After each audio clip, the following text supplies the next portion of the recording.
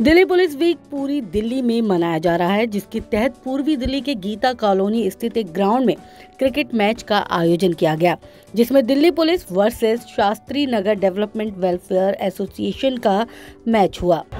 हाँ ये बहुत ही अच्छा इनिशिएटिव है। मैं कॉन्ग्रेचुलेट करना चाहूँगा कि हमारी मदान जी हैं आर के सारे मेंबर्स हैं, सभी डिग्नेटरीज यहाँ आए हुए हैं।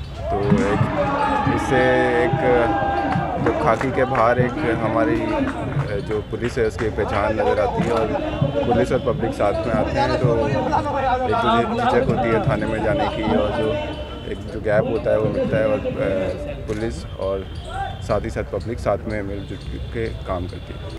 इस मैच में दिल्ली पुलिस ने टॉस जीतकर पहले बल्लेबाजी का फैसला लिया। दिल्ली पुलिस ने 124 रन बनाए वहीं आरडब्ल्यूए को 125 का टारगेट दिया गया जिसके बाद आरडब्ल्यूए ने अपनी धुआंधार पारी से जीत अपने नाम कर ली। बड़ा अच्छा मैच चल रहा है। पहले टॉस हुआ उसमें दिल्ली पुलिस टॉस जीती।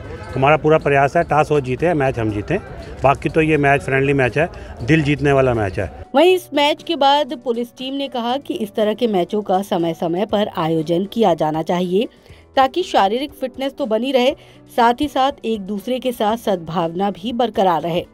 दिल्ली से यासीन खान की रिपोर्ट।